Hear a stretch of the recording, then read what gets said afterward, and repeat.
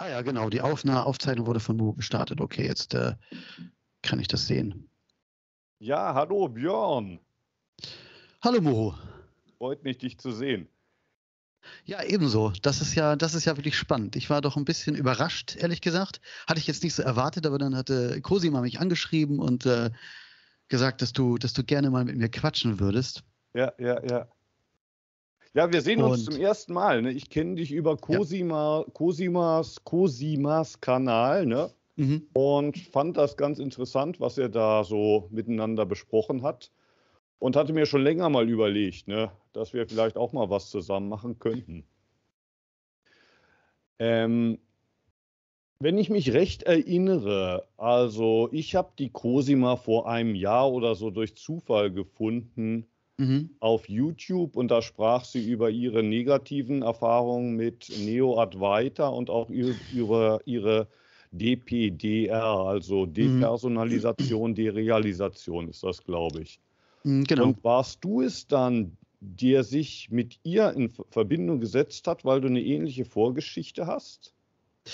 Ja? Es, Genau, es war eigentlich so, dass ähm, meine, meine Freundin, die eben auch von, von Depersonalisation, also auch eben langwierig betroffen ist, nicht ganz so lange wie ich, aber eben auch schon seit 2005, bei mir ja seit 1996 und ähm, und äh, sie war ja immer sehr viel auf der Suche nach irgendwelchen Erklärungen, nach anderen Leuten, die betroffen waren, ja. ob irgendetwas, ob es irgendwas gibt, was hilft. Und dann hat sie halt Cosima entdeckt. Also als sie quasi gerade so begonnen hatte mit ihren ersten Videos, was ja eigentlich erstmal noch so ein Experiment gewesen ist, ne? In, Im ja, Urlaub ja. und äh, das erstmal aufzuzeichnen.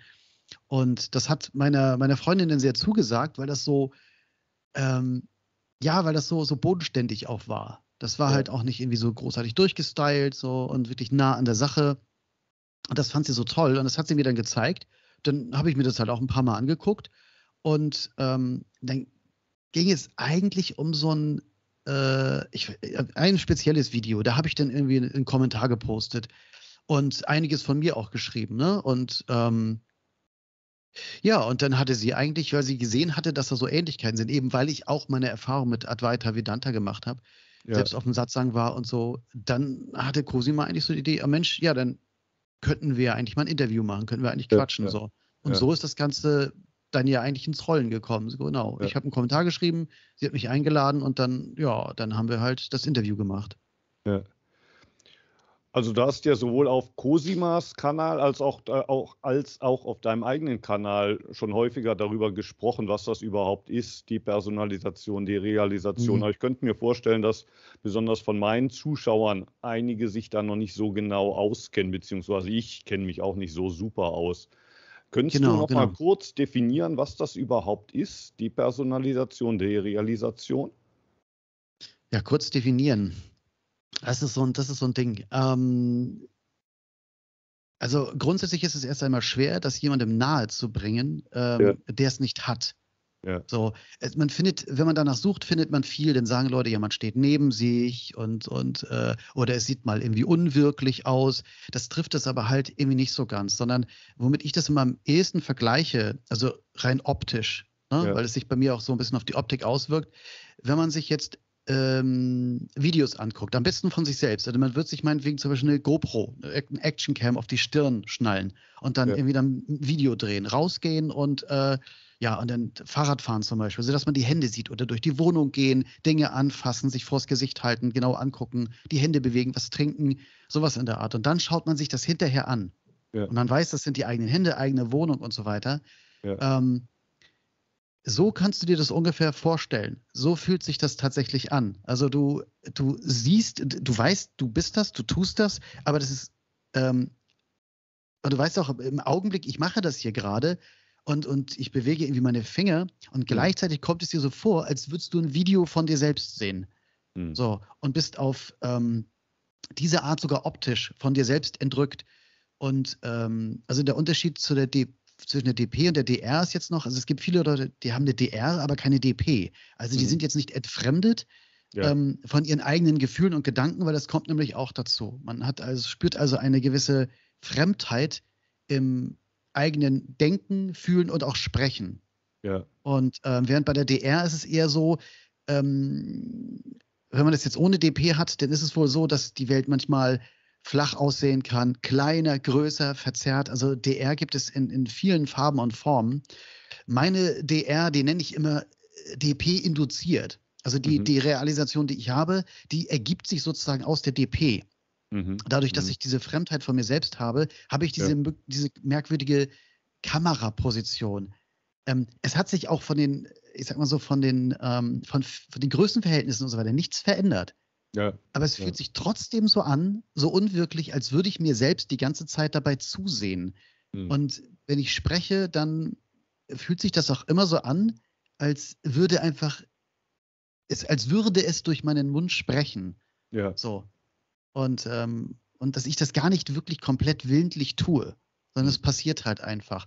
Mhm. Und, ähm, und so ist das mit, mit vielen Dingen eben auch, mit dem Fühlen und Denken und also mit dem Ganzen, was man ansonsten als sein Selbst, sein Ich bezeichnet. Man ist ja normalerweise identifiziert, also auch wirklich komplett mit dem Körper. Man, man wird ja auch immer so auf sich selbst zeigen, insbesondere ja, ja. aufs Gesicht. Ja. Also wir verbinden ja, wenn wir von einer Person sprechen, meinen wir den ganzen Körper, aber im Speziellen das Gesicht. Gesicht ist da ja ganz wichtig, weil wir darüber auch so viel ausdrücken.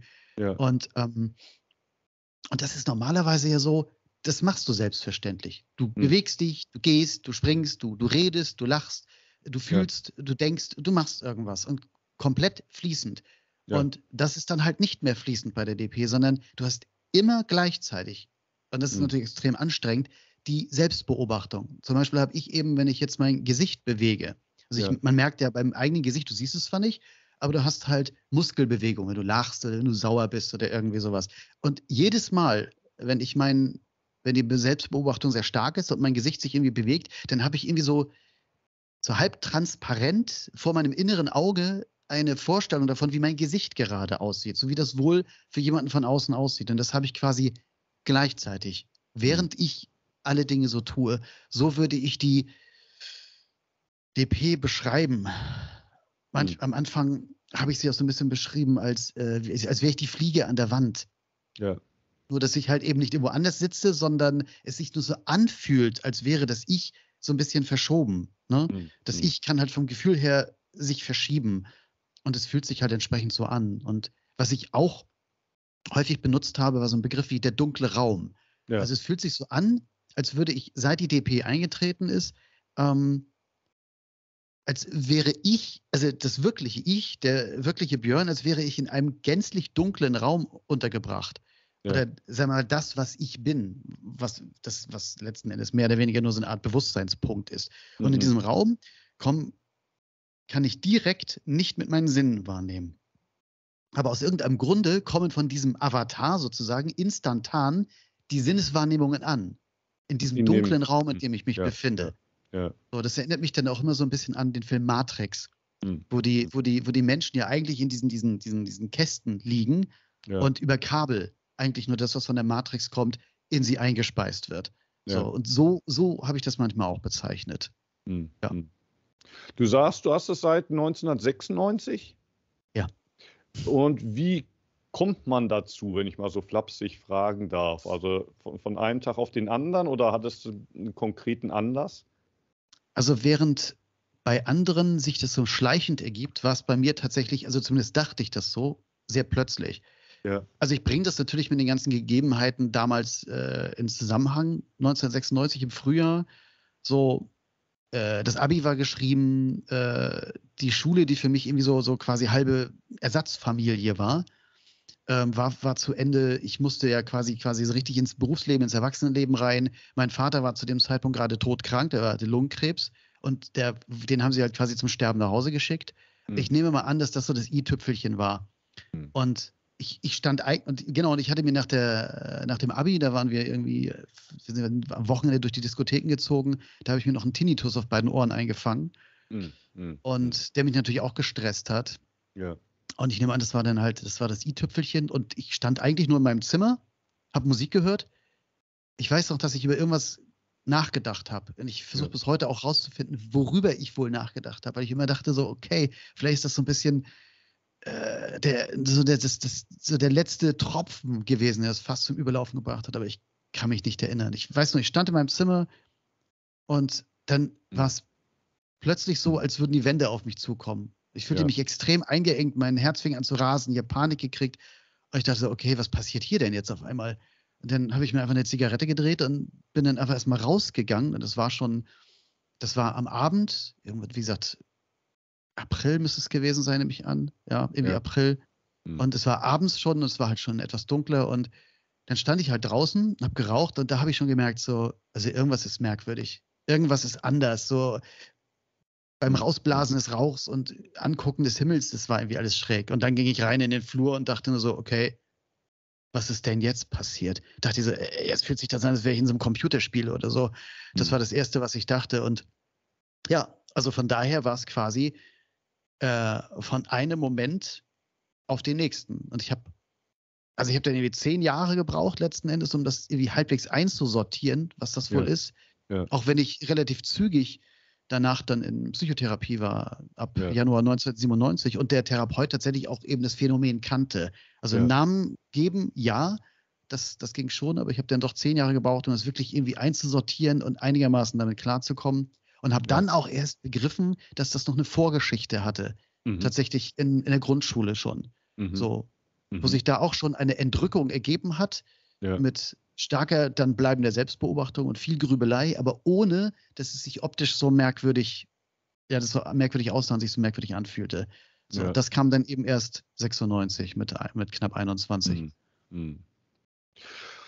Vieles oder eigentlich alles, was du jetzt beschreibst, das klingt ja irgendwie auch nach dem, was Leute von ihren Erleuchtungserlebnissen erzählen. Ne?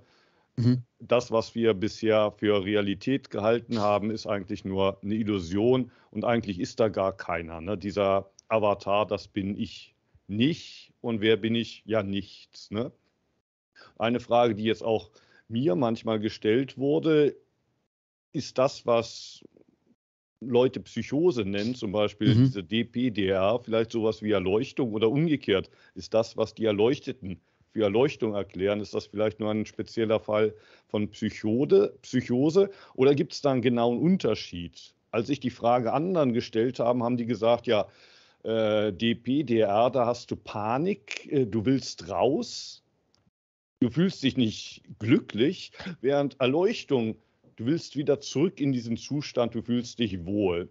Und das ist natürlich ein Riesenunterschied, ne? aber das ist ja eigentlich, wenn es darum geht, ist diese Wahrnehmung real oder, oder ist das die Wahrheit oder nicht, ist ja sekundär, ob es dich gut anfühlt für dich oder nicht gut anfühlt. Ne? Also würdest du sagen, dass es da eine Verbindung gibt oder könnte man genau sagen, was die eine Wahrnehmung von der anderen unterscheidet? Ist Erleuchtung doch was anderes als die Realisation oder ist es irgendwie dasselbe?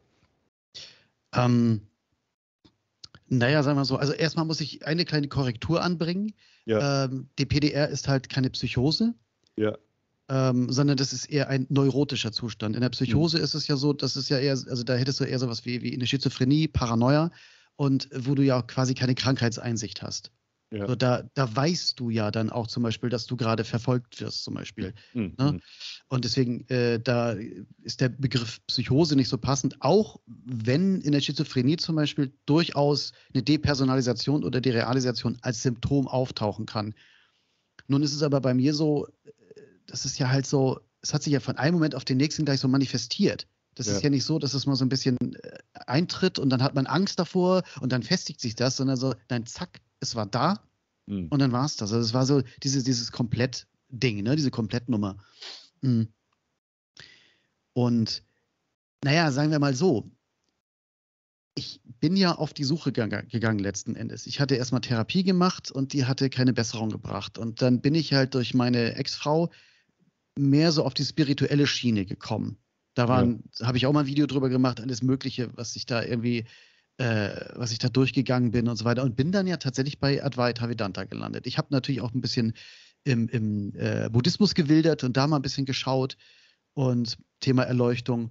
Aber letzten Endes wurde ich dann ja erstmal fündig, tatsächlich bei, bei Advaita Vedanta, beziehungsweise man muss es dann ja wahrscheinlich, weiß nicht, ob das ja schon der, der Übergang zu Neo-Advaita ist. Ich war ja bei diesem äh, Advaita-Meister Maduka. Mhm. Das war 2006, da war ich ja beim Satsang. Und da habe ich mich tatsächlich wiedergefunden. Mhm. So. Und habe auch wirklich, das ist ja der Punkt, ich habe das auch wirklich jahrelang geglaubt, dass es so eine Art Vorstufe ist und dass in irgendeiner Form ähm, jetzt die nächsten Schritte folgen werden. Warum auch immer. Weil, also ich sag mal, im, im, äh, im Gegensatz zu dem, was jetzt so diese Non-Duality-Speaker machen, ist ja in dem klassischen Advaita schon, da wird auch noch Selbstergründung betrieben. Ja. Und, ähm, und sich halt so die Frage gestellt, so, wer bin ich? Ja. Immer wieder, wer bin ich? um letzten Endes, äh, naja, vielleicht zu dem zu gelangen, was man wirklich ist, also wirklich zu realisieren. Ja. Also habe ich natürlich Ergründung betrieben. Ich habe ja auch dann dieses Buch gelesen, was ja auch so eine, habe ich auch ein Video drüber gemacht, was ja so ein bisschen diese erwachten Bibel ist von ja. Suzanne Siegel, Kollision mit der Unendlichkeit. Und es ist ja, also da war es für mich unfassbar, welche ähm, Ähnlichkeiten wirklich da äh, sich aufzeigten zwischen Suzanne und mir. Ja. So. Und das war für mich dann auch so ein Punkt, wo ich dachte, boah, dann muss es das jetzt auch sein. Ähm, und es gibt auch verdammt viele Ähnlichkeiten bei dem, ja. was so beschrieben wird. Ne? Auch dieses, dieses, ähm, es gibt auch so Zitate, ich weiß nicht, ob das ein Zitat von Rumi ist zum Beispiel, aus dem, mhm. aus dem, ähm, ähm, aus diesem mystischen Zweig des Islam, wo er sagte, ich weiß nicht, ob das von ihm ist oder von jemand anderem, wer spricht Worte mit meinem Mund? So, ja, das ja, ist so ein, so ein, Zitat, das mir dann so auch zugeflogen ist. Es, es fühlt sich für mich dann ja auch so an, dass es einfach so rauskommt letzten Endes. Und, ähm, und ich habe ja zudem auch noch ein paar weitere Erlebnisse gehabt. In meiner Selbsterforschung habe ich ja auch dieses Einheitserlebnis gehabt. Ich weiß nicht, ob äh, du das äh, mal dann im, im, Video quasi gehört hast bei mir oder so. Mhm. Und das war für mich ja ähm, einer der Knackpunkte, der nochmal dazu führte, dass ich das noch mehr geglaubt habe mhm. dass ich wirklich auf dem Weg der Erleuchtung bin. Weil ja, in dem Moment, wo ja. dieses Einheitserleben da war, da habe ich mich ja quasi, das, das war ja wirklich so ein Auflösungsempfinden. Das ist, ähm, das war, also in dem Moment, wo es da war, wo es ja gar keine Zeit mehr gab, war es für mich auch vollkommen klar. Also da habe ich mich wirklich so von innen nach außen gestülpt, in alles ergossen.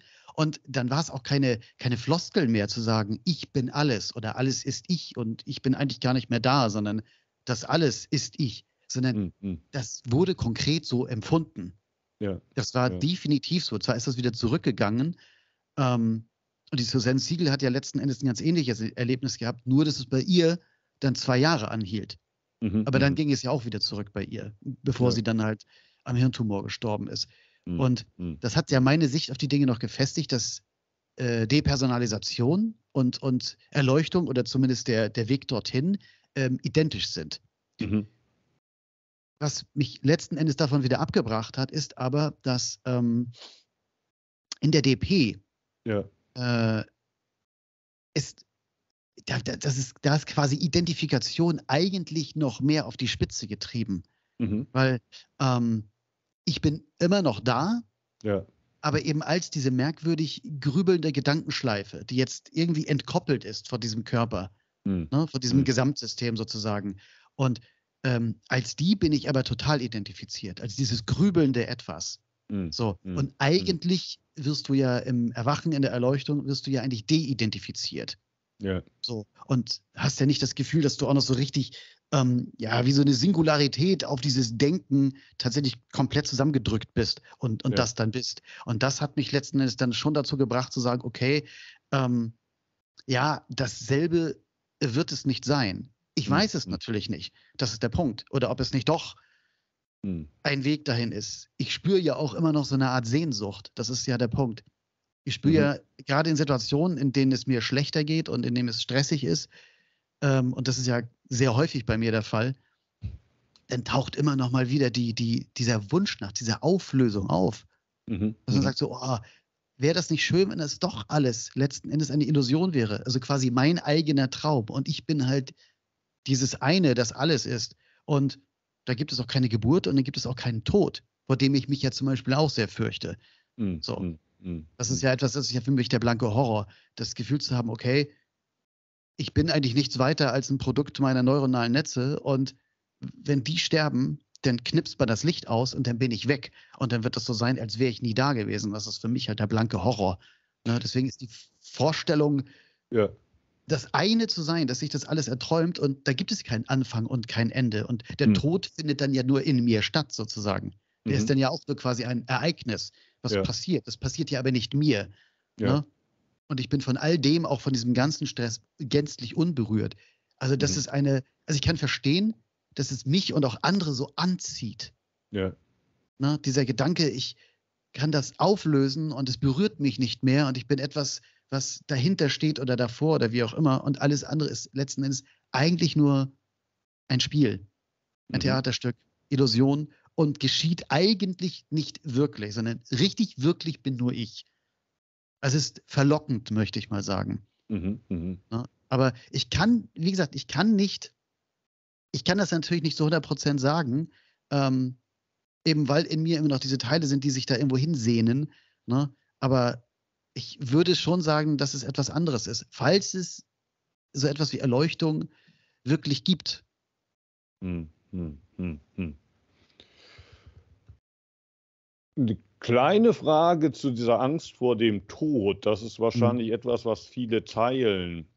Ähm, was ich manchmal nicht so ganz verstehe, ist, wenn Tod bedeutet, dass du dich auflöst, sozusagen, mhm. es gibt dich nicht mehr.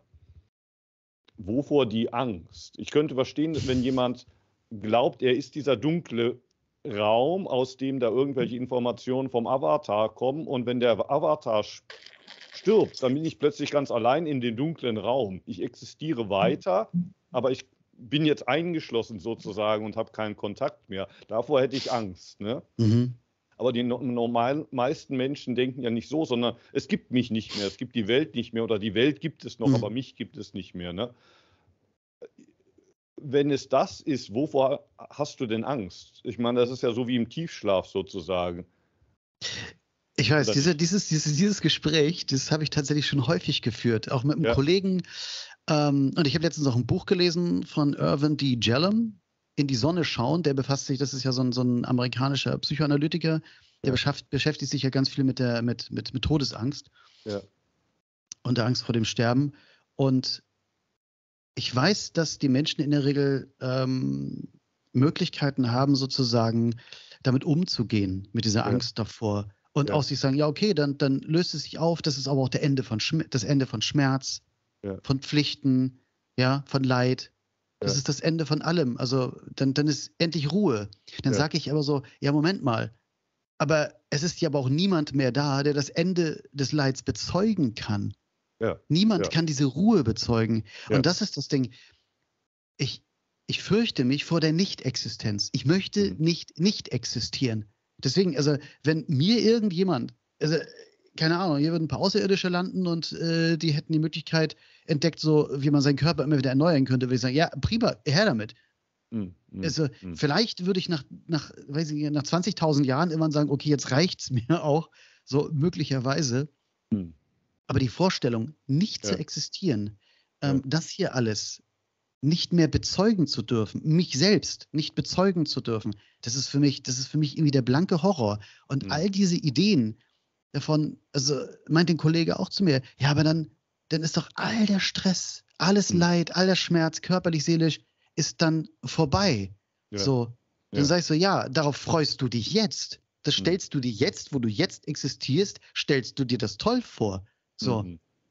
So, natürlich weiß man, in dem Moment, wo man weg ist, weiß man auch nicht mehr, dass man weg ist. Also könnte man sagen, ist egal. Okay, mhm. es, es wird dann auch egal sein. Ja. Das ist schon klar, weil ja niemand mehr da ist. Aller Wahrscheinlichkeit nach. Mhm.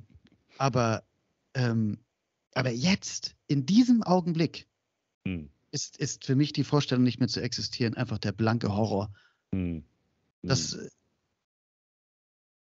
Das ist, glaube ich, ein ganz anderer Blickwinkel. Andere haben einen anderen Blickwinkel da drauf. Mhm. So. Mhm. Mhm. Für mich ist ja zum Beispiel auch die Vorstellung total scheußlich, dass die, dass die, äh, dass die Menschen aussterben. Ja. Weil die Menschen, nicht, dass ich jetzt die Menschen für so, für so besonders toll halte, aber ja. was den Menschen halt, sagen wir mal, ähm, eigen ist im Vergleich jetzt zu anderen Tieren, ja. ähm, einfach weil sie sich auch überall hinbewegen können, ja sogar ins All und so weiter. Ja. Ähm, sie haben halt eine ganz andere Möglichkeit, das Leben mit allem drum und dran zu bezeugen. Abgesehen davon, dass wir das auch echt alles kaputt machen. Aber mhm. wir haben diese unfassbar geile äh, Fähigkeit, alles zu bezeugen und, und allem sozusagen auch ein Denkmal zu setzen. Wir können Statuen bauen, wir können, wir können Bücher schreiben, Filme drehen. wir können das Leben, so wie, also egal worum es sich dreht, wir können das Leben in, in, in all seinen Facetten bezeugen und, und, und, ähm, und, und darstellen. Und diese Art des Bezeugens empfinde ich als etwas, mhm. ich glaube, das ist den meisten gar nicht bewusst, aber das Leben und auch unser Lebensraum, das alles wirklich nicht nur erleben direkt, sondern auch bezeugen zu dürfen, sagen zu dürfen, guckt euch das mal an, wie geil ist bitte die Existenz. Ähm, das ist, glaube ich, etwas, was, was den Menschen ja eigen ist. Das ist ja eine mhm. Besonderheit. Und wenn der letzte Mensch stirbt, dann stirbt auch die, äh, dieses Bezeugen, dieses Dabeisein, dieses richtige, volle Dabeisein der Existenz. So, mhm. ähm, das ist dann auch weg. Und das ist auch für mich ein grausiger Gedanke. So, also ich habe das im, im, Großen wie im Kleinen. Das ist etwas, das mhm. mich, mhm.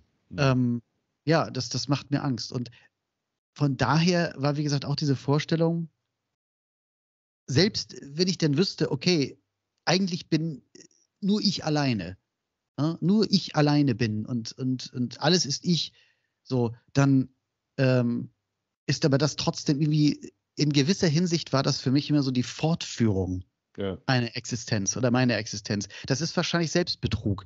Vor allem, wenn man das wirklich ähm, konsequent aus dieser spirituellen Sicht betrachtet, weil darum geht es ja eigentlich nicht. Ne? Ja. Es geht ja nicht darum, seine persönliche Existenz zu verlängern. Mhm. Ne? So. Aber deswegen glaube ich, dass diese Angst einfach auch viel dahinter steckte. Mhm. Mhm. Ich weiß natürlich nicht, wie es gewesen wäre, wenn ich jetzt, sagen wir mal, schon in der, äh, ich sag mal, spirituellen Szene groß geworden wäre. Ja. Nur mal angenommen, ich wäre tatsächlich, keine Ahnung, ich, ich hätte vorher schon mich mit Buddhismus auseinandergesetzt, wäre vielleicht hier in Kiel irgendwo in so einem buddhistischen Zentrum gewesen, regelmäßig zu meditieren und so weiter. Und dann wäre mir das widerfahren. Ja. Oder ich wäre regelmäßig irgendwo meinetwegen in Indien gewesen. Ja, ja. Und hätte gerade in einem Ashram gesetz, gesessen oder so. Und dann wäre mir das widerfahren. Und alle ja. um mich herum hätten gesagt so, oh, was ist dir passiert? Dein Ich hat sich aufgelöst. Wer das weiß, wie sich das für mich angefühlt hätte. Ja, ja. Na? Keine Ahnung. Hm. Also von daher, du hattest das hm. in deinen Fragen an mich ja auch geschrieben, ne? dass das so ein hm. bisschen, dass ich zwar diese Kritik äußere, ja, ja. aber dennoch ähm, vieles von dem, was ich sage, hm. ähm, trotzdem viel von diesem Non-Dualen spricht. Genau, genau. Ich meine, dein Kanal heißt ja auch Niemand zu Hause. Das klingt mhm. schon nach, nach Advaita so ein bisschen. Ne? Also mhm. bei der Cosima ist es ja so, sie war auch beim Neo Advaita, aber heute, wenn sie von Non-Dualität hört dann, dann fängt sie mit den Augen an zu rollen. Also sie ist total anti. Während bei dir, da höre ich sowohl diese Kritik, aber du sprachst auch eben so ein bisschen, dass da immer, immer noch so eine Sehnsucht ist nach Erleuchtung, wenn es sie überhaupt geben sollte. Ne? Ähm, beziehungsweise du sagst es, glaube ich, mal in irgendeinem Video, eigentlich, du könntest eigentlich auch selber so eine Art weiter Lehrer werden, weil du den ganzen Sprech drauf hast. Ne? Du sagst das natürlich ironisch, es klang nicht mhm. so, als ob du das wirklich vorhättest, ne? aber manche Dinge, die du sagst in deinen Videos oder auch allein die Titel, ne, die, die gehen schon mhm. ein bisschen in diese Richtung. Ne? Also es ist nicht so wie Cosima totale Anti-Advaita-Kritik, sondern ich höre da zwischen den Zeilen auch immer so ein bisschen diese Sehnsucht oder da ist doch was, ne? Durch. Oder verstehe ich da jetzt was falsch? Ähm, also das Ding ist, es ist zweierlei. Also ja. zum einen ist natürlich diese, diese, diese Sehnsucht irgendwie da und natürlich auch irgendwie dieses äh, Bedürfnis, äh, wirklich herauszufinden, ähm, was mit mir wirklich ist ja, und ja. wer ich bin. So, dass ich, das ist ja auch, auch gerade so Thema, dass ich authentisch sein möchte und, und wirklich, dass, dass das klar sein soll, wer ich bin, damit ich auch wieder ein Leben führen kann, äh, das sich für mich gut anfühlt, weil es, weil es tatsächlich so ist. Es, es fühlt sich derzeit einfach nicht gut an, ich zu hm. sein. Mhm. So, und mhm. das geht schon eben verdammt lange so. Das sind jetzt bald drei Jahrzehnte. So, und irgendwo möchte ich in ein, ich möchte auch in eher ein fließendes Dasein kommen, egal wie es sich jetzt gestaltet. So. Mhm. Das möchte ich halt gerne. Es soll ein fließendes Dasein sein und nicht diese ewige Anspannung. Und ja, ja. Ähm, dadurch, dass ich halt diese Erfahrung gemacht habe und mich auch so lange, tatsächlich über viele Jahre natürlich mit, mit, den, äh, mit der spirituellen Seite auseinandergesetzt habe, eben mit Non-Dualität auseinandergesetzt habe, da ist natürlich was übrig. Das kann ich ja nicht einfach äh, wegwischen. Das ist ja irgendwie da. Mhm. Und ähm, mhm. wie gesagt, diese Sehnsucht ist da. Was mich allerdings ähm, wiederum nervt ist, ähm, und da habe ich jetzt gestern auch noch ein Video gemacht. Also Cosima hatte ja noch ein Video gemacht zu dieser Maya Karina und dem Thema Trauma ist nur ein Gedanke. Ja. Da habe ich gestern noch eine Support-Reaction aufgenommen für Cosima. Ja. Weil das ist so ein, so ein, Thema, wo ich dann denke, so, da geht es mir dann irgendwie zu weit. Ja. So, ähm, da werden Dinge dann gesagt, wo ich dann merke, so, also da, da, wird auch aus meiner Sicht wird das, was, was im Advaita Vedanta ursprünglich mal gesagt hat, wird unfassbar verwurstet zu etwas, was man überhaupt nicht mehr greifen kann. So, ja. da ist dann ja quasi überhaupt nichts mehr übrig. Und, ähm, und solche Aussagen wie Trauma ist nur ein Gedanke und eigentlich das, was dir angetan wurde, ja, liegt in, in deiner ähm, eigenen Verantwortung. Und ähm, eigentlich ist es nur dein alter Urschmerz aus der Trennung und das war's. In Wirklichkeit ist gar nichts passiert. Mhm. Mhm. Da fängt das mhm. wirklich an, ähm, also für mich dann unerträglich zu werden. Und das ist eine Sache, wo ich denn gegen angehe. Also da spüre ich dann den Impuls, wirklich gegen anzugehen. Und genauso, ähm, ich glaube auch, und das war ja auch ein Thema bei dir, was du dann mir auch geschrieben hattest, dass ja überall aus allen Ecken jetzt die Erleuchteten, die Erwachten irgendwie hochpilzen und ihre ja, Videos ja. machen, Bücher schreiben und so weiter und so fort. Und beim besten Willen, ich glaube nicht, dass das alles irgendwie vollständig Erwachte sind. Das glaube ich einfach nicht. Ja. Ähm, zumal ich einfach weiß, wie leicht das ist, diesen Sprech zu kopieren. Ja, ja. Du kannst den nachäffen, das ist total simpel. Und du kannst auch, weil viele solcher Bücher ja auch aus Dialogen bestehen, ne? aus ja, Satzangs, ja. wo dann gesprochen wurde, das sind so Transkriptionen von Aufnahmen. Ja, meine Güte, das kann ich mir auch ausdenken. Ja, ja. Ne? Ich muss mal kurz den, den Kater reinlassen, der will hier unbedingt rein. Ich bin gleich wieder da. Ja.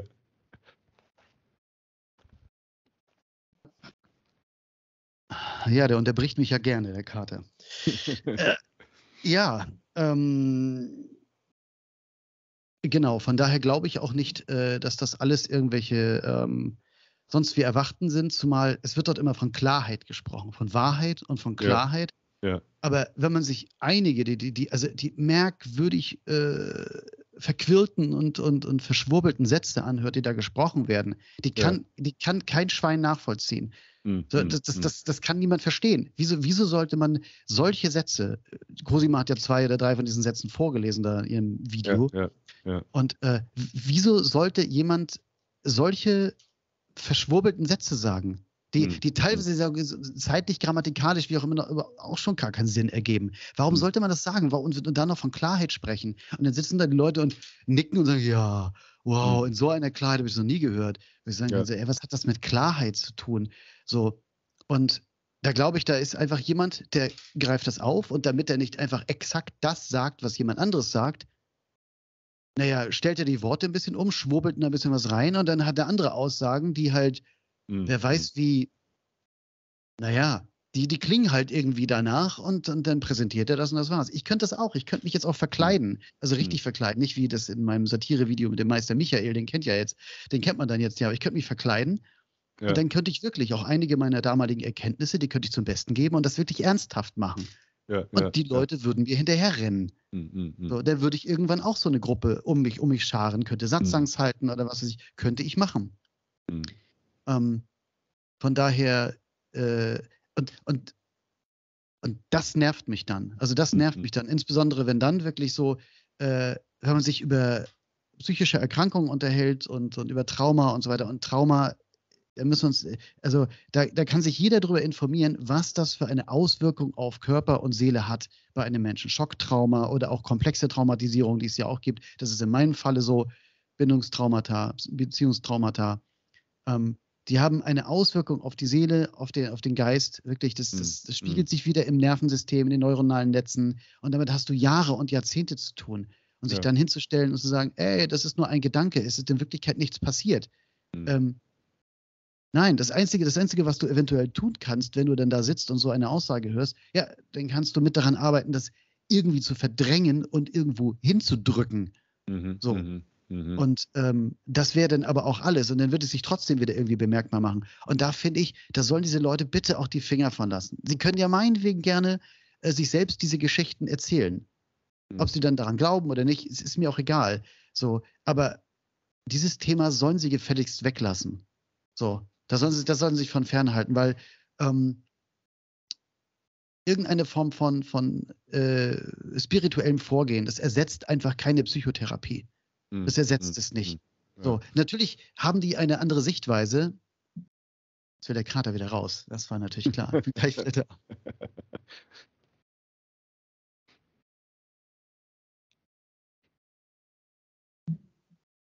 Genau, das ist auf der, das sind ja auch zwei, wie soll ich sagen, zwei komplett unterschiedliche Sichtweisen. Ne? Ich, ja. ich kann da jetzt mich hinstellen und sagen, so, ja, nee, das ähm, psychische Erkrankungen, die haben bei euch nichts verloren. Ja? ja, ja. Meinetwegen könnt ihr irgendwelche, irgendwelche Mantras singen, das könnt ihr gerne machen, aber befasst euch bitte nicht mit Trauma. Ihr seid nicht ausgebildet und das, was ihr da sagt, ist gefährlich. Ja. So, lasst das bitte sein. Ähm, natürlich kann jemand von der anderen Seite dann sagen, und da spielt es ja gar keine Rolle, was für ein Thema das ist. Trauma oder ich bin irgendwo gegen die Wand gelaufen oder habe einen Rohrbruch in der Wohnung. Da kann, mhm. können die immer sagen, wieso ist doch nichts passiert? Mhm. Es ist doch hm. alles nur, es ist doch alles nur Illusion, du bist nicht, bist nicht berührt, du bist das eine, dass sich das nur erträumt, das musst du nur erkennen. Ähm, die können immer alles vom Tisch fegen. Das ist ja genau der hm. Punkt. Diese Sicht, hm. diese Sichtweise ist halt so eine, eine in sich geschlossene Logik. Ja. So. Wir sagen, ja, es ist einfach so. Das ist einfach das. Das ist eine ja. in sich geschlossene Logik, da kann man auch nicht gegen andiskutieren. Ähm, und die fegt einfach alles vom Tisch. Da ist dann alles irgendwie, da ist dann alles irgendwie weg. Ähm, und das ist etwas, das passt mir nicht. Mm, mm, mm. Ja. Ich, aber nochmal zurück zu der Frage, woher kommen diese ganzen Erleuchteten? Warum sind, schießen die wie Pilze aus dem Boden? Würdest du sagen, das ist einfach ein Schneeballeffekt durch die, die Bücher, die auf dem Markt sind und YouTube-Clips oder spielen vielleicht auch Substanzen da eine Rolle, dass es heutzutage sehr viel einfacher ist, an LSD oder an Pilze zu kommen? Oder wodurch erklärst du dir das? Also ähm, ich glaube, mit, mit irgendwelchen Substanzen hat das weniger zu tun, weil ich weiß, weiß ja aus eigener Erfahrung, äh, auch in den 90ern war das jetzt nicht so schwer, an den Kram ranzukommen. Ja. Ne? Das war jetzt nicht so das Thema. Ähm, also es hat, also ich sag mal, Advaita, Neo-Advaita, Non-Dualität hat ja eine immer stärkere Verbreitung erfahren. Ja. Im Laufe der Zeit erstmal natürlich durch Bücher. Ja. Ne? Insbesondere so eben nach dem Jahrtausendwechsel. Ähm, und ähm, dadurch hast du natürlich erstmal eine Menge Mundpropaganda. Aber ich glaube, eben gerade durch Social Media ist das halt einfach, äh, hat das einfach, mhm. so wie alles andere auch, eine viel größere äh, Verbreitung erfahren. Und, ähm, und natürlich ist der Wunsch bei vielen, vielen Leuten, ähm, der Realität in gewisser Hinsicht zu entfliehen oder das irgendwie zu verbessern. So. Ja. Frieden zu haben, denn das ist ja, das ist ja immer das, warum die Leute dahin rennen. Letzten mhm. Endes geht es immer irgendwie um Frieden. Mhm. So. Und, ähm, und diese Beschränkung, die man, die man, die man immer spürt, dass man das einfach nicht mehr wahrnehmen muss. So, dass man da in irgendeine andere Art des Wahrnehmens und Fühlens hineinkommt. So, die, das Bedürfnis ist ja da. Und das nimmt wahrscheinlich sogar noch zu, wie sich unsere Welt und wie sich unsere Gesellschaft im Moment entwickelt. Ähm, und über Social Media äh, findet alles totale Verbreitung. Ich meine, das sieht man ja, was für ein Dreck da überall äh, hochgespült wird und überall landet. So und so findet auch das letzten Endes eine große Verbreitung. Und deshalb pilzen die denn so aus dem Boden. Mhm. Ne? Und hm. ich sag mal so, wenn man sich eine, eine Geschichte erzählt und wenn man vielleicht auch tatsächlich daran glaubt, also das, was man durch, durch was auch immer für Gegebenheiten ähm, wahrnimmt. Ja. Vielleicht sind es auch Leute, bei denen sich die Wahrnehmung irgendwie verändert hat. So, hm. ähm, ich stecke ja nicht in deren Köpfen drin. Ähm, und wir alle, wir Menschen sind einfach gute Geschichtenerzähler und wir erzählen uns halt selbst gerne Geschichten. Das tun wir ständig. Ja, ähm, ja. Und dann erzählen sie sich diese Geschichte eben auch und dann erzählen sie die eben bei YouTube. Und was ich auch eben denke, ist, wenn man, ähm, also das weiß ich eben aus eigener Erfahrung, wenn man jetzt diese Geschichte aufrechterhalten möchte, so, ja. dann reicht das irgendwann auch nicht mehr, dass du ähm, Bücher liest. Ich habe ja, ich war nur einmal beim Satzang und dann habe ich halt Bücher gelesen, ganz, ganz viel die ganzen Klassiker habe ich gelesen und dann eben auch die, die, die neueren Meister, da habe ich dann irgendwas von gelesen. Und ähm, aber das reicht irgendwie als Impuls von außen nicht mehr aus. Ja. Oder reichte für mich nicht aus, um diese, dieses Narrativ, das ich hatte, dieses Erleuchtungs- oder Erwachensnarrativ wirklich aufrecht zu erhalten. Das hat einfach nicht mehr ausgereicht. Und ich könnte mir zumindest vorstellen, dass ähm, wenn ich mir diese Geschichte erzähle und dann auch selber denke, ich bin, wer weiß wie weit. So, weil es sich, vielleicht fühlt es sich auch gerade total toll an. Wie gesagt, in meiner Einheitserfahrung, das war der Wahnsinn. Wenn das geblieben wäre, hm, hm, ich dachte, mein Gott, so kann ich bis ans Ende meines Lebens oder darüber hinaus einfach existieren. Das war wunderschön. Das fühlte sich wirklich an, wie, wie, wie, äh, wie nach Hause gekommen zu sein, wirklich wie angekommen sein. Ja, ja. Es war ja auch wirklich so, dass ich dachte so, ich muss keine Frage mehr stellen. Mhm. Außer sowas wie, wenn ich irgendwo hinfahre, wo geht's zum Bahnhof oder wo kriege ich, wo kann ich einkaufen? Ja. So, wo kriege ich einen Döner her oder sowas? Mhm. Und ansonsten aber wirkliche Fragen, richtig existenzielle Fragen waren nicht mehr zu stellen. Auch keine Fragen mehr zur, er zur Erleuchtungssuche oder so. Mhm. Ne? Die waren auch nicht mehr zu stellen. In dem Zustand hätte ich gesagt, geil, da lebe ich jetzt, wunderbar. Ähm, und vielleicht hat ja der eine oder die andere dann entsprechende Gefühlslage und sagt mhm. sich, boah, ich bin jetzt wirklich auf einem Stand, wo ich sagen kann, das, das ist Erleuchtung, das ist Erwachen. Mhm. Und aber ich denke, was nötig, ist, damit du, weil ich das eher für eine Geschichte halte, die man sich selber erzählt, ja. ähm, ist es notwendig, dass du die Impulse von außen immer wieder bekommst. Und das mhm. schaffst du halt, indem du Schüler hast. Mhm. Hm. Indem du Leute um die Chance, die dann immer wieder dabei sind und das immer wieder bestätigen, nicken und sagen, ja, oh, in dieser Klarheit habe ich das noch nie gehört und, und dann hm. auch Fragen stellen. Ja. Das, ähm, das Ding ist ja, es festigen sich ja mitunter Dinge ähm, mhm. Mehr, wenn du etwas erklärst. Das merke ich zum Beispiel, wenn ich meinem, was weiß ich, meinem Sohn was erkläre bei seiner jetzigen Ausbildung irgendwie. So, da geht es um Programmierung. So, ja. wo ich eher dachte, so, oh Gott, kann ich das selber? Kann ich das überhaupt? Aber dann ja. kam ich in die Rolle des Erklärers Mhm. Und dann hat sich das mir so richtig ergeben und, und hat sich, ist so geflossen und das hat sich für mich viel mehr gefestigt. Also in der Rolle des, des Lehrers zu sein, ähm, ja. kann auch Dinge festigen. Und wenn du dann da sitzt und ähm, erklärst, beantwortest Fragen und wiederholst natürlich auch das, die Dinge. Das ist ja so, dass, dass gewisse Phrasen immer wiederholt werden. Egal, ob sie eigentlich überhaupt gar kein Gehalt haben. Und du wiederholst es, wiederholst es, wiederholst es. Und durch Wiederholung wird es irgendwann wahr. Und wenn du das mhm. machst, die Impulse kommen durch deine, durch deine Zuhörer immer wieder von außen, dann bist du auch mhm. in der Lage, dieses Narrativ aufrecht zu erhalten. Ja. So. Mhm. Und, ähm, und dann lebst du halt einfach da drin. Ob man, ich weiß nicht, manche machen das unentgeltlich, ich weiß nicht, wie die sonst arbeiten, ob die irgendwie Geld verdienen, keine Ahnung, das weiß ich nicht. Manche geben ja auch wirklich Vorträge und, und ja. kassieren dafür auch Geld und das ist ja auch gar nicht, wird gar nicht wirklich so billig. Ne? Ja. Damit, davon kann man dann ja vielleicht auch leben. Ähm, ja, und das sind dann, aber manche brauchen vielleicht auch das Geld nicht, sondern wollen einfach nur dieses Gefühl aufrechterhalten. So, und durch diese Impulse von außen, durch die Schüler, ähm, ist es vielleicht leichter, dieses Narrativ tatsächlich aufrechtzuerhalten. Mhm. Das wäre, das wäre denkbar. Womit ich nicht sagen möchte, dass nicht äh, der eine oder die andere darunter ist, äh, die tatsächlich sich total gefestigt in so einem Zustand befindet. Mhm. Vielleicht auch mhm. ohne ohne die Notwendigkeit für Schüler. Ja, Weil, ja. Wie gesagt, darüber könnte man sich unterhalten, was ist denn dann Erleuchtung? Ja. Was ist das denn? Ist das wirklich etwas, was ähm, quasi vor dem Körper ist? Also quasi darüber hinausgeht? Ist das, ne? Ist dieser Zustand, dieser, ich sag mal, zustandslose Zustand, müsste man ja eigentlich sagen, ist das wirklich etwas, was darüber hinausgeht, über alles, über unsere normale Wirklichkeit? Mhm. Und findet unsere Wirklichkeit nur darin statt, in diesem einen Mhm. Man könnte das ja auch physikalisch ausdrücken. Ne? Man könnte sagen, okay, das ist alles nur eine Art Quantenfeld.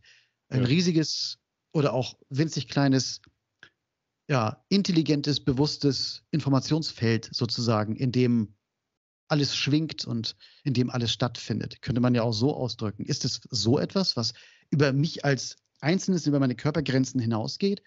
Oder ist Erleuchtung vielleicht etwas, was ähm, also um nochmal, oder um zu sagen, genau, in diesem Feld gibt es eigentlich auch niemanden. Es gibt auch keine anderen. Es gibt mich nicht und die anderen in Wirklichkeit auch nicht. Oder aber ist Erleuchtung so etwas vielleicht, was im Einzelnen im Gehirn stattfindet? Ist das eine Art Zustand, den ich, ein, ein neuronaler Zustand, den ich erreichen und vielleicht sogar aufrechterhalten kann? Mhm. Ist es vielleicht sowas? Ähm, und dann ist es in gewisser Hinsicht aber auch real. Denn was in unserem mhm. Gehirn passiert, das ist ja für uns wirklich. Das kann sich mhm. verändern und wir können irgendwas, was wirklich war, auch wieder als unwirklich erkennen, aber dann wird es ersetzt durch irgendwas anderes. Also in unserem Gehirn wird es ja quasi real. Wie die Wissenschaftler sagten auch mal, die allgemeingültige, also eigentlich uns allen zugrunde liegende Realität gibt es wirklich, aber niemand von uns ist jemals dort gewesen. Mhm. Wir können die nicht sehen. Wir können nur das sehen, was wir individuell als Wirklichkeit daraus bauen. Ja, ja. So. ja, und von daher ist eben vielleicht dann auch so ein Zustand des Erwachens oder der Erleuchtung ein Zustand im Gehirn, der zehn Sekunden, zwei Stunden oder vielleicht ein Leben lang halten kann. Mhm. So, dann ist er in gewisser Hinsicht auch real und kann sich auch genauso anfühlen wie das, was immer beschrieben ist. Mhm. Ähm, aber das weiß ich letzten Endes nicht. Was ist das mhm. denn für dich?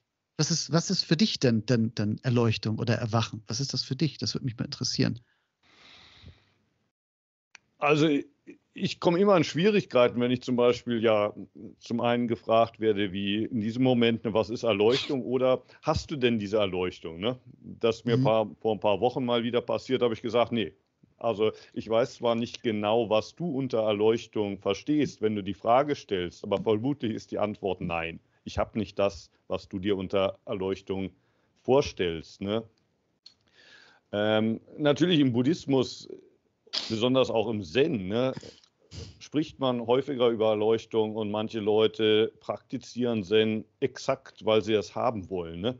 Diese mhm. Erfahrung, von der sie zwar nicht genau wissen, was es ist, aber hoffentlich löst es alle meine Probleme und mein Leben wird besser sein, wenn ich sie einmal gemacht habe. Ne?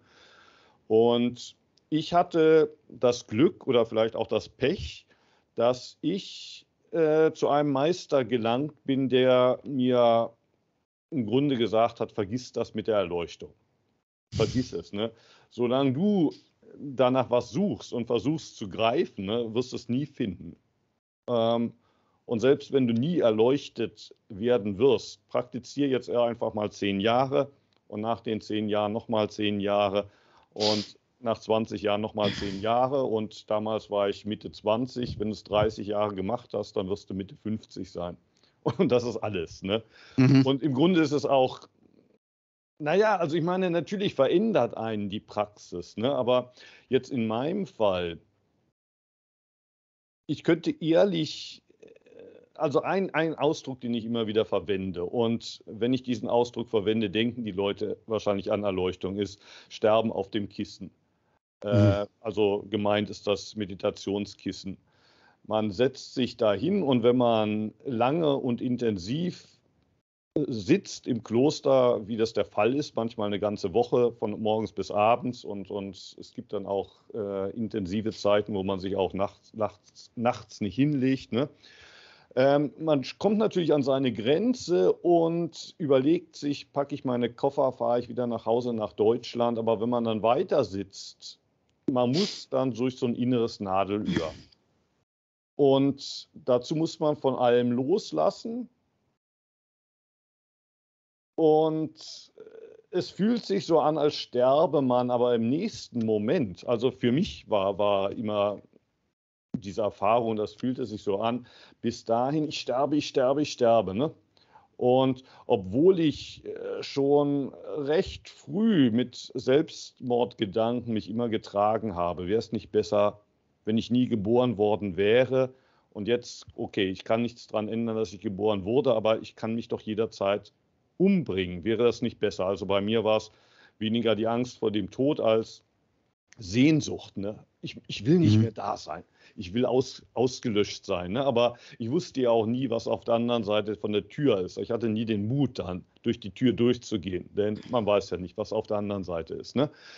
Und äh, diese Erfahrung des totalen Loslassens auf des Sterbens auf dem Kissen, auf dem Kissen wird dann gefolgt von der Überraschung, aber ich lebe ja noch. Und das ist wunderbar. Bis dahin fühlte es sich nie wunderbar an, sondern es ist ja wunderbar, ne?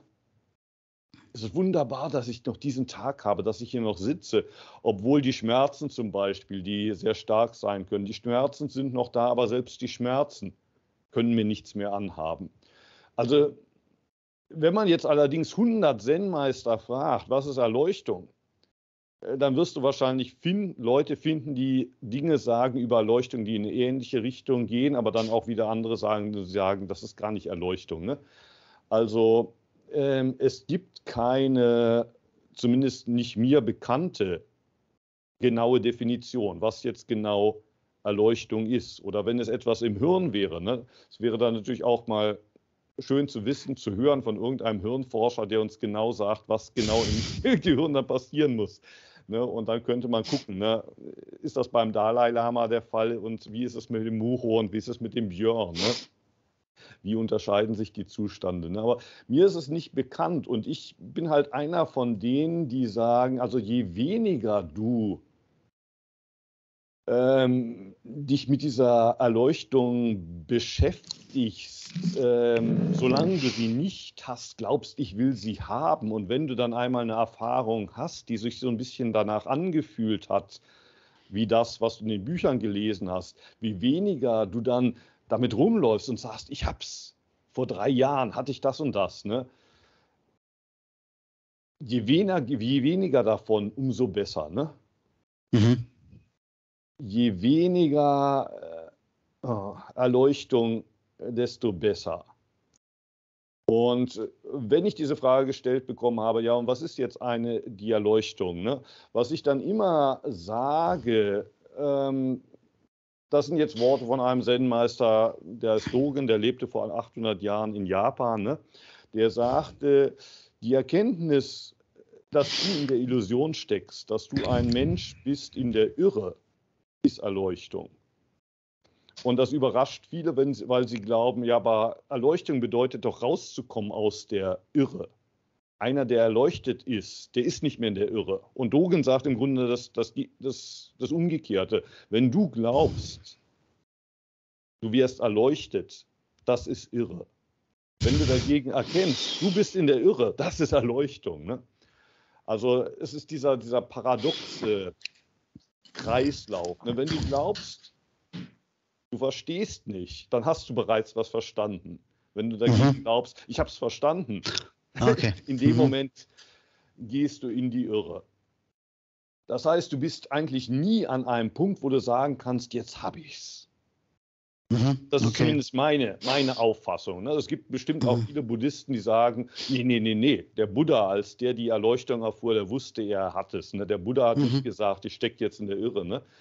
Ähm, also du wirst viele Buddhisten finden, die, mich, die mir hier widersprechen, aber das ist zumindest äh, meine Definition von Erleuchtung. Deshalb, wenn du mich fragen wirst, ja, und wie ist es mit dir? Hast du Erleuchtung? Dann nein, nein. Mhm. Ich würde sagen, Gott sei Dank, Buddha sei Dank, Buddha mhm. sei Dank. Denn Erleuchtung, dann hätte ich noch ein Problem mehr. Und ich habe auch schon dazu okay. genug in meinem Leben. Ne?